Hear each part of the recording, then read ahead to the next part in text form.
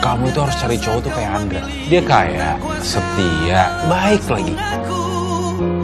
Kalau dia sampai nggak jadi nikah sama gue, gue akan pastikan dia tidak akan pernah menikah dengan siapa pun juga. Besok Bang Beng ngajak aku prewed.